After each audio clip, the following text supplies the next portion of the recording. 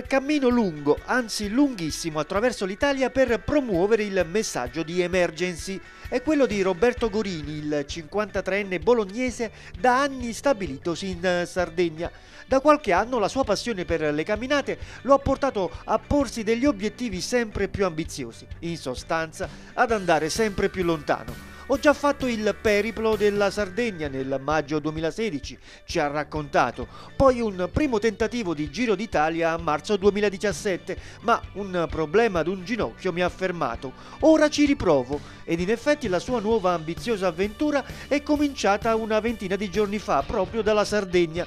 Con il logo di Emergency su t-shirt e zaino, lungo il cammino sta incontrando i gruppi di volontari dell'associazione umanitaria fondata da Gino Strada. Tante le persone già incontrate lungo la strada, da alcune anche l'offerta di ospitalità per la notte, da molti un semplice incoraggiamento che comunque fa piacere. Beh, eh, innanzitutto questo cammino è nato diciamo, come idea un paio d'anni fa eh, e mi spinge il fatto che amo il cammino ma soprattutto questo cammino eh, ha un, uno scopo ben preciso che è quello di promuovere emergency. Incontro gente fantastica, purtroppo ci sono anche cose negative ma questo fa parte diciamo, della nostra Italia ma eh, più che altro trovo molto affetto e veramente grandi persone. Un aneddoto molto particolare è stato quando sono arrivato in Calabria a Polistena, nel, diciamo, nel polambulatorio di emergency, eh, con il, il mediatore culturale e un volontario abbiamo visitato eh, la tendopoli diciamo, di San Ferdinando nella zona di, di Rosarno dove c'è una situazione decisamente